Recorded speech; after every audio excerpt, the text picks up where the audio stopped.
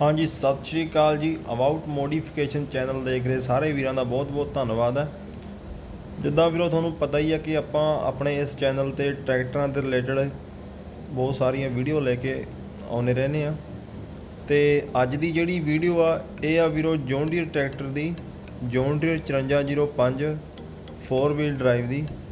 ਤੇ ਇਹ 63 HP category ਦਾ tractor ਹੈ। ਤੇ ਇਸ ਟਰੈਕਟਰ ਦੇ ਵਿੱਚ ਬਾਕੀ ਜਿਹੜੇ ਪਹਿਲਾਂ ਜੌਨ ਆਉਂਦੇ ਸੀਗੇ, ਉਹਨਾਂ ਨਾਲੋਂ ਬਹੁਤ ਹੀ ਵਧੀਆ ਫੀਚਰ ਦਿੱਤੇ ਗਏ ਆ। ਸੋ ਅੱਗੇ ਫੀਚਰਾਂ ਬਾਰੇ ਗੱਲਬਾਤ ਕਰਾਂਗੇ ਆਪਾਂ ਤੇ ਸਾਡੇ ਨਾਲ ਵੀਡੀਓ ਦੇ ਐਂਡ ਤੱਕ ਜਰੂਰ ਜੁੜੇ ਰਹੋ। ਸੋ ਵੀਰੋ, ਸਭ ਤੋਂ ਪਹਿਲਾਂ ਆਪਾਂ ਗੱਲਬਾਤ ਕਰਦੇ ਆ ਟਰੈਕਟਰ ਦੇ ਟਾਇਰਾਂ ਬਾਰੇ। 4 ਵੀਲ ਡਰਾਈਵ ਦੇ ਵਿੱਚ ਜਿਹੜੇ ਮੂਰਲੇ ਟਾਇਰ ਨੇ, ਉਹ ਆਉਂਦੇ ਆ ਜੀ 11 2 24 ਨੰਬਰ ਤੇ ਜਿਹੜੇ ਮਗਰਲੇ ਟਾਇਰ ਨੇ, ਉਹ ਆਉਂਦੇ ਆ ਜੀ 16 9 30 ਦੇ। ਬਾਕੀ ਇਹ ਕੰਪਨੀ ਤੇ ਡਿਪੈਂਡ ਆ ਕਿ ਆਪਾਂ ਨੂੰ ਕਿਹੜੀ ਕੰਪਨੀ ਦੇ ਟਾਇਰ ਪ੍ਰੋਵਾਈਡ ਕਰਾਉਣਗੇ। ਸੋ ਉਸ ਤੋਂ ਬਾਅਦ ਜੇ ਆਪਾਂ ਗੱਲ ਕਰੀਏ ਇਹਦੇ ਹੈਡਲੈਂਪ ਬਾਰੇ, ਇਹਦੇ ਜਿਹੜੇ ਵੀਰੋ ਹੈਡਲੈਂਪ ਆਉਂਦੇ ਆ ਟਰੈਕਟਰ ਦੇ ਵਿੱਚ, ਇਹ ਆ LED ਹੈਡਲੈਂਪ ਅੱਪਰ ਤੇ ਡਿੱਪਰ ਦੋਨੋਂ ਲਾਈਟ ਦੇ ਇਹਦੇ ਵਿੱਚ ਪ੍ਰੋਵਾਈਡ ਕਰਾਈ ਗਈਆਂ ਨੇ। ਤੇ ਬਹੁਤ ਹੀ ਵਧੀਆ ਡਿਜ਼ਾਈਨ ਦੇ ਨਾਲ ਇਹ ਤਿਆਰ ਕੀਤੇ ਗਏ ਆ ਸਾਈਡ ਦੇ ਵਿੱਚ ਕ੍ਰੋਮ ਫਿਨਿਸ਼ਿੰਗ ਦੇ ਨਾਲ। ਇਹਦੀ ਜਿਹੜੀ ਸ਼ੋ ਆ, ਉਹ ਬਹੁਤ ਹੀ ਸੋਹਣੀ ਲੱਗਦੀ ਆ। ਜੌਨ ਡੀਅਰ ਦੇ ਵਿੱਚ ਪਹਿਲਾਂ ਫਰੰਟ ਦੇ ਵਿੱਚ ਹੀ ਜਾਲੀ ਆਉਂਦੀ ਸੀਗੀ। ਜੋ ਰੇਡੀਏਟਰ ਤੱਕ ਹਵਾ ਪਹੁੰਚਾਉਣ ਦਾ ਕੰਮ ਕਰਦੀ ਆ, ਪਰ ਹੁਣ ਆਪਾਂ ਸਾਈਡ ਵਾਲੀ ਸ਼ੋਅ ਦੇ ਵਿੱਚ ਵੀ ਜਾਲੀ ਦੇਖ ਸਕਦੇ ਆ। ਇਹਦੇ ਥਰੂ ਵੀ ਰੇਡੀਏਟਰ ਤੱਕ ਹਵਾ ਜਾਇਆ ਕਰੂਗੀ ਤੇ ਆਪਣਾ ਜਿਹੜਾ ਟਰੈਕਟਰ ਆ, ਉਹ ਜ਼ਿਆਦਾ ਹੀਟ ਨਹੀਂ ਹੋਇਆ ਕਰੂਗਾ। ਟਰੈਕਟਰ ਦਾ ਜਿਹੜਾ ਸ਼ੋਅ ਖੋਲਣ ਵਾਲਾ ਲੋਕ ਆ, ਇਹ ਚਾਬੀ ਦੇ ਨਾਲ ਹੀ ਖੁੱਲਦਾ ਤੇ ਜਿਹੜੀ ਆਪਣਾ ਫਿਊਲ ਟੈਂਕ ਨੂੰ ਚਾਬੀ ਲੱਗਦੀ ਆ, ਉਹੀ ਆਪਾਂ ਨੂੰ ਸ਼ੋਅ ਖੋਲਣ ਦੇ ਵਿੱਚ ਯੂਜ਼ ਕਰਨੀ ਪਿਆ ਕਰੂਗੀ। ਤੇ ਸ਼ੋਅ ਖੋਲ ਕੇ ਆਪਾਂ ਜੋ ਅੱਗੇ ਮੇਨ ਫੀਚਰ ਨੇ ਉਹਨਾਂ ਬਾਰੇ ਗੱਲਬਾਤ ਕਰਦੇ ਆ। ਸਭ ਤੋਂ ਪਹਿਲਾਂ ਗੱਲਬਾਤ ਕਰਦੇ ਆ ਵੀਰੋ ਇਹਦਾ ਜਿਹੜਾ 에ਅਰ ਕਲੀਨਰ ਆ 에ਅਰ ਕਲੀਨਰ ਦੇ ਵਿੱਚ ਇੱਕ ਸੈਂਸਰ ਫਿੱਟ ਕੀਤਾ ਗਿਆ। ਜੇ ਕਿਸੇ ਕਾਰਨ ਆਪਣਾ 에ਅਰ ਕਲੀਨਰ ਚੋਕ ਹੋ ਜੇ, ਤਾਂ ਆਪਾਂ ਨੂੰ ਜਿਹੜਾ ਆਰਪੀਐਮ ਮੀਟਰ ਦਿੱਤਾ ਗਿਆ, ਉਹਦੇ ਵਿੱਚ ਇੱਕ ਸਕਰੀਨ ਆ ਛੋਟੀ ਜੀ ਉਹਦੇ ਵਿੱਚ ਮੈਸੇਜ ਆ ਜਾਊਗਾ ਕਿ ਆਪਣਾ ਜਿਹੜਾ 에ਅਰ ਕਲੀਨਰ ਉਹ ਚੋਕ ਹੋ ਚੁੱਕਾ। ਤੇ ਆਪਾਂ ਉਹਨੂੰ ਜਿਹੜੀ, ਉਹਦੀ ਜਿਹੜੀ ਪ੍ਰੋਬਲਮ ਆ, ਉਹ ਸੋਲਵ ਕਰ ਸਕਦੇ ਆ। 에ਅਰ ਕਲੀਨਰ ਦੇ ਬਿਲਕੁਲ ਥੱਲੇ ਜੋ ਤੁਸੀਂ ਰੇਡੀਏਟਰ ਛੋਟਾ ਜਿਹਾ ਦੇਖ ਰਹੇ ਹੋ, ਇਹ ਫਿਊਲ ਕੂਲਰ ਆ, ਜਿਹੜਾ ਆਪਾਂ ਟਰੈਕਟਰ ਨੂੰ ਬਰਨ ਹੋਣ ਵਾਸਤੇ ਆਇਲ ਭੇਜਦੇ ਆ ਪੰਪ ਦੇ ਥਰੂ ਤੇ ਉਹ ਜਿਹੜਾ ਸਾਰਾ ਫਿਊਲ ਆ, ਉਹ ਇੱਕ ਟਾਈਮ ਦੇ ਵਿੱਚ ਬਰਨ ਨਹੀਂ ਹੁੰਦਾ, ਇੱਕ ਟਾਈਮ ਦੇ ਵਿੱਚ ਨਹੀਂ ਫੁੱਕਦਾ ਇੰਜਨ ਦੇ ਵਿੱਚ ਪਿਸਟਨਾਂ ਵਿੱਚ ਜਾ ਕੇ। ਤੇ ਜਿਹੜਾ ਬਚਦਾ ਫਿਊਲ ਆ, ਉਹ ਪੰਪ ਦੇ ਥਰੂ ਹੀ ਇਸ ਦੇ ਵਿੱਚ ਵਾਪਸ ਆਇਆ ਕਰੂਗਾ ਤੇ ਇਹਨੇ ਅੱਗੇ ਜਿਹੜਾ ਫਿਊਲ ਆ, ਉਹ ਠੰਡਾ ਕਰਕੇ ਦੁਬਾਰੇ ਟੈਂਕ ਦੇ ਵਿੱਚ ਭੇਜਿਆ ਕਰਨਾ। ਇਹ ਇੱਕ ਨਵਾਂ ਫੀਚਰ ਇਸ ਟਰੈਕਟਰ ਦੇ ਵਿੱਚ ਦਿੱਤਾ ਗਿਆ। ਇਸੇ ਫੰਕਸ਼ਨ ਦੇ ਥਰੂ ਜੋ ਟਰੈਕਟਰ ਦੀ ਮਾਈਲੇਜ ਆ, ਟਰੈਕਟਰ ਦੀ ਐਵਰੇਜ ਆ, ਉਹ ਬਾਕੀ ਟਰੈਕਟਰ ਨਾਲੋਂ ਵੱਧ ਮਿਲਿਆ ਕਰੂਗੀ। ਫਿਊਲ ਕੂਲਰ ਦੇ ਬਿਲਕੁਲ ਬੈਕ ਤੇ ਜੋ ਤੁਸੀਂ ਇੱਕ ਹੋਰ ਸਿਸਟਮ ਦੇਖ ਰਹੇ ਹੋ, ਇਹ ਹੈ ਜੀ ਚਾਰਜ 에ਅਰ ਕੂਲਰ ਇਹਦਾ ਕੰਮ ਕੀ ਆ ਕਿ ਜਿਹੜੀ ਆਪਣੇ ਟਰੈਕਟਰ ਦੇ ਵਿੱਚ ਟਰਬੋ ਹੁੰਦੀ ਆ ਟਰਬੋ ਰਾਹੀਂ ਜੋ ਹਵਾ ਆਪਣੇ ਇੰਜਨ ਤੱਕ ਜਾਂਦੀ ਆ, ਜੋ ਫਿਊਲ ਦੇ ਫੂਕਣ ਲਈ ਯੂਜ਼ ਹੁੰਦੀ ਆ, ਜੋ ਟਰਬੋ ਰਾਹੀਂ ਹਵਾ, ਸੋ ਉਹ ਜਿਹੜੀ ਹਵਾ, ਉਹ ਇਹਦੇ ਰਾਹੀਂ ਠੰਡੀ ਹੋ ਕੇ ਅੱਗੇ ਇੰਜਨ ਤੱਕ ਜਾਇਆ ਕਰੂਗੀ। ਤੇ ਜਿਹਦੇ ਕਰਕੇ ਆਪਾਂ ਨੂੰ ਜਿਹੜੇ ਟਰੈਕਟਰ ਦੀ ਪਾਵਰ ਆ, ਉਹ ਵੱਧ ਮਿਲਿਆ ਕਰੂਗੀ। ਚਾਰਜ 에ਅਰ ਕੂਲਰ ਦੇ ਬਿਲਕੁਲ ਥੱਲੇ ਇੱਕ ਹੋਰ ਕੂਲਿੰਗ ਸਿਸਟਮ ਤੁਸੀਂ ਦੇਖ ਰਹੇ ਹੋ। ਇਹ ਇੱਕ ਬਹੁਤ ਹੀ ਐਡਵਾਂਸ ਫੀਚਰ ਇਸ ਟਰੈਕਟਰ ਦੇ ਵਿੱਚ ਦਿੱਤਾ ਗਿਆ। ਐਕਚੁਅਲ 'ਚ ਇਹਦਾ ਕੰਮ ਕੀ ਆ ਕਿ ਜਿੱਦਾਂ ਆਪਾਂ ਟਰੈਕਟਰ ਦੇ ਵਿੱਚ ਕੋਈ ਵੀ ਪ੍ਰੈਸ਼ਰ ਵਾਲਾ ਕੰਮ ਕਰਦੇ ਆ ਭਾਵੇਂ ਪਾਵਰ ਸਟੀਅਰਿੰਗ ਆ, ਭਾਵੇਂ ਲਿਫਟ ਦਾ ਕੰਮ ਆ, ਭਾਵੇਂ ਕੋਈ ਹੋਰ ਹਾਈਡਰੋਲਿਕ ਕੰਮ ਆ, ਜਿੱਦਾਂ ਕੋਈ ਹਾਈਡਰੋਲਿਕ ਟਰਾਲੀ ਹੋ ਗਈ ਜਾਂ ਕੋਈ ਹਾਈਡਰੋਲਿਕ ਇੰਪਲੀਮੈਂਟ ਹੋ ਗਿਆ।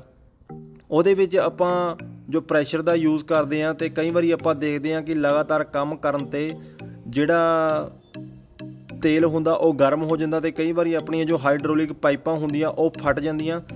ਪਰ ਇਹ ਸਿਸਟਮ ਰਾਹੀਂ ਜਿਹੜਾ ਤੇਲ ਦਾ ਸਰਕਲ ਆ, ਉਹ ਠੰਡਾ ਹੋ ਕੇ ਅੱਗੇ ਇੰਪਲੀਮੈਂਟ ਤੱਕ ਜਾਇਆ ਕਰੂਗਾ, ਭਾਵੇਂ ਪਾਵਰ ਸਟੀਅਰਿੰਗ ਆ, ਭਾਵੇਂ ਕੋਈ ਵੀ ਇੰਪਲੀਮੈਂਟ ਆ ਹਾਈਡ੍ਰੋਲਿਕ ਉਹਦੇ ਵਿੱਚ ਇਹ ਕੂਲਿੰਗ ਸਿਸਟਮ ਕੰਮ ਕਰੂਗਾ। ਤੇ ਦੂਜਾ, ਇਸ ਕੂਲਿੰਗ ਸਿਸਟਮ ਦਾ ਇਹ ਬੈਨੀਫਿਟ ਆ ਕਿ ਜਿਹੜੀ ਆਇਲ ਦੀ ਪ੍ਰੈਸ਼ਰ ਆਇਲ ਦੀ ਲੂਬਰੀਕੇਸ਼ਨ ਹੁੰਦੀ ਆ, ਉਹ ਗਰਮ ਹੋਣ ਕਾਰਨ ਕਈ ਵਾਰੀ ਛੇਤੀ ਹੀ ਖਰਾਬ ਹੋ ਜਾਂਦੀ ਆ ਤੇ ਜਿਹੜਾ ਆਪਣਾ ਪ੍ਰੈਸ਼ਰ ਪੰਪ ਹੁੰਦਾ, ਉਹਦੇ ਤੇ ਵੀ ਇਸ ਚੀਜ਼ ਦਾ ਇਫੈਕਟ ਬਹੁਤ ਪੈਂਦਾ, ਪਰ ਇਹ ਕੂਲਿੰਗ ਸਿਸਟਮ ਰਾਹੀਂ ਜਿਹੜਾ ਆਪਣਾ ਪ੍ਰੈਸ਼ਰ ਪੰਪ ਆ, ਉਹ ਵੀ ਲੰਬੇ ਸਮੇਂ ਤੱਕ ਕੰਮ ਕਰਿਆ ਕਰੂਗਾ। ਸੋ ਇਹ ਬੈਨੀਫਿਟ ਆ ਇਸ ਸਿਸਟਮ ਦਾ। ਅੱਗੇ ਗੱਲ ਕਰਦੇ ਆ ਜੀ ਟਰੈਕਟਰ ਦੇ ਰੇਡੀਏਟਰ ਬਾਰੇ। ਸੋ ਵੀਰੋ, ਜਿੱਦਾਂ ਤੁਸੀਂ ਦੇਖ ਰਹੇ ਹੋ ਕਿ ਜੌਨ ਡੀਅਰ ਕੰਪਨੀ ਨੇ ਰੇਡੀਏਟਰ ਦੇ ਲਈ ਇੱਕ ਅੱਡ ਤੋਂ ਇੱਕ ਸੈਪਰੇਟ ਜਾਲੀ ਦਿੱਤੀ ਆ। ਇਹ ਜਾਲੀ ਦਾ ਆਪਾਂ ਨੂੰ ਇਹ ਬੈਨੀਫਿਟ ਆ ਕਿ ਕਈ ਵਾਰੀ ਆਪਾਂ ਟਰੈਕਟਰ ਨਾਲ ਧੂੜ ਕਰਦੇ ਮਿੱਟੀ ਦੇ ਵਿੱਚ ਕੰਮ ਕਰ ਰਹੇ ਹੁੰਦੇ ਆ ਤੇ ਆਪਣਾ ਜਿਹੜਾ ਰੇਡੀਏਟਰ ਆ, ਉਹ ਚੋਕ ਹੋ ਜਾਂਦਾ ਤੇ ਆਪਾਂ ਨੂੰ ਬਾਰ-ਬਾਰ ਝਾੜਨਾ ਪੈਂਦਾ ਕੱਪੜੇ ਨਾਲ। ਪਰ ਇਹ ਜਾਲੀ ਨਾਲ ਆਪਾਂ ਜਿਹੜਾ ਆਪਣਾ ਰੇਡੀਏਟਰ ਆ, ਉਹਨੂੰ ਸੇਫ ਰੱਖ ਸਕਦੇ ਆ। ਬਾਰ-ਬਾਰ ਆਪਾਂ ਨੂੰ ਰੇਡੀਏਟਰ ਦੇ ਉੱਤੇ ਕੱਪੜਾ ਮਾਰਨ ਦੀ ਲੋੜ ਨਹੀਂ ਕਿਉਂਕਿ ਕਈ ਵਾਰੀ ਝਾੜਨ ਨਾਲ ਆਪਣਾ ਰੇਡੀਏਟਰ ਖਰਾਬ ਹੋ ਜਾਂਦਾ। ਸੋ ਆਪਾਂ ਇਹ ਜਾਲੀ ਕੱਢ ਕੇ, ਝਾੜ ਕੇ ਇਹਨੂੰ ਦੁਬਾਰੇ ਉੱਥੇ ਹੀ ਫਿੱਟ ਕਰ ਸਕਦੇ ਆ ਇਹਦੇ ਨਾਲ ਜਿਹੜਾ ਆਪਣਾ ਰੇਡੀਏਟਰ ਆ, ਉਹ ਸੇਫ ਰਹੂਗਾ। ਜੌਨ ਡੀਅਰ 5405 ਦੇ ਵਿੱਚ ਜਿਹੜੀ ਟਰਬੋ ਯੂਜ਼ ਕੀਤੀ ਗਈ ਆ, ਇਹ 24 ਨੰਬਰ ਟਰਬੋ ਆ ਜੀ ਕੰਪਨੀ ਫਿਟਡ ਇਸ ਟਰੈਕਟਰ ਦੇ ਜੇ ਫਿਊਲ ਪੰਪ ਦੀ ਗੱਲ ਕਰੀਏ ਤਾਂ ਇਸ ਟਰੈਕਟਰ ਦੇ ਵਿੱਚ ਜਿਹੜਾ ਪੰਪ ਯੂਜ਼ ਕੀਤਾ ਗਿਆ, ਉਹ ਹਾਈ ਪ੍ਰੈਸ਼ਰ ਪੰਪ ਯੂਜ਼ ਕੀਤਾ ਗਿਆ। ਆਪਾਂ ਬਾਕੀ ਟਰੈਕਟਰਾਂ ਦੇ ਵਿੱਚ ਦੇਖਦੇ ਆ ਇਨਲਾਈਨ ਜਾਂ ਰੋਟਰੀ ਪੰਪ ਯੂਜ਼ ਹੁੰਦੇ ਆ। ਪਰ ਇਸ ਟਰੈਕਟਰ ਦੇ ਵਿੱਚ ਜਿਹੜਾ ਪੰਪ ਆ, ਉਹ ਹਾਈ ਪ੍ਰੈਸ਼ਰ ਪੰਪ ਯੂਜ਼ ਕੀਤਾ ਗਿਆ। ਇਹ ਬਾਕੀ ਦੂਜੇ ਪੰਪਾਂ ਨਾਲੋਂ ਦੁੱਗਣੀ ਪਾਵਰ ਜਨਰੇਟ ਕਰਦਾ। ਤੇ ਜਿਹਦੇ ਕਾਰਨ ਆਪਾਂ ਨੂੰ ਜਿਹੜੀ ਇੰਜਨ ਦੀ ਪਾਵਰ ਆ, ਉਹ ਦੁੱਗਣੀ ਮਿਲਦੀ ਆ ਤੇ ਜਿਹੜੀ ਇਹਦੀ ਮੇਨਟੇਨੈਂਸ ਆ, ਉਹ ਘਟ ਜਾਂਦੀ ਆ ਤੇ ਦੂਜਾ ਜਿਹੜੀ ਮਾਈਲੇਜ ਆ, ਉਹ ਵੀ ਆਪਾਂ ਨੂੰ ਵੱਧ ਮਿਲਦੀ ਆ। ਇਸ ਟਰੈਕਟਰ ਦੇ ਵਿੱਚ ਜਿਹੜਾ ਇੰਜਨ ਆਉਂਦਾ, ਉਹ BS6 ਇੰਜਨ ਆਉਂਦਾ। ਅੱਜ ਕੱਲ ਇੰਡੀਆ ਦੇ ਵਿੱਚ ਜਿਹੜੇ ਵੀ ਨਵੇਂ ਵਹੀਕਲ ਲਾਂਚ ਹੁੰਦੇ ਆ, ਭਾਵੇਂ ਟਰੈਕਟਰ ਆ, ਭਾਵੇਂ ਕਾਰ ਆ, ਭਾਵੇਂ ਟਰੱਕ ਆ, ਭਾਵੇਂ ਕਾਰਾਂ ਜੋ ਵੀ ਵਹੀਕਲ ਨਵਾਂ ਲਾਂਚ ਹੁੰਦਾ, ਉਹਦੇ ਵਿੱਚ BR6 ਇੰਜਣ ਹੀ ਹੁੰਦਾ। ਸੋ ਇਸ ਦੇ ਵਿੱਚ ਵੀ ਜਿਹੜਾ ਟਰੈਕਟਰ ਦੇ ਵਿੱਚ ਯੂਜ਼ ਕੀਤਾ ਗਿਆ, ਉਹ BR6 ਇੰਜਣ ਆ। ਜਿਹਦੇ ਕਾਰਨ ਇਹਦੇ ਵਿੱਚ ਇੱਕ EGR ਸਿਸਟਮ ਲੱਗਾ ਹੋਇਆ ਐਗਜ਼ੋਸਟ ਗੈਸ ਰਿਡਿਊਸਿੰਗ ਸਿਸਟਮ ਤੇ ਇਹ ਸਿਸਟਮ ਦਾ ਆਪਣੇ ਇੰਜਣ ਨੂੰ ਤਾਂ ਕੋਈ ਬਹੁਤਾ ਬੈਨੀਫਿਟ ਨਹੀਂ ਹੁੰਦਾ। ਪਰ ਜੋ ਸਲੰਸਰ ਰਾਹੀਂ ਧੂਆਂ ਆਪਾਂ ਬਾਹਰ ਕੱਢਦੇ ਆ ਜੋ এনवायरमेंट ਦੇ ਵਿੱਚ ਮਿਲਦਾ ਜਾ ਕੇ ਉਹਨੂੰ ਕੰਟਰੋਲ ਕਰਨ ਵਾਸਤੇ ਤੇ ਉਹਦੇ ਵਿੱਚ ਜੋ ਜ਼ਹਿਰੀਲੇ ਤੱਤ ਹੁੰਦੇ ਆ, ਜੋ এনवायरमेंट ਦੇ ਵਿੱਚ ਮਿਲਦੇ ਆ, ਜਾ ਕੇ ਉਹਨਾਂ ਨੂੰ ਕੰਟਰੋਲ ਕਰਨ ਵਾਸਤੇ ਇਹ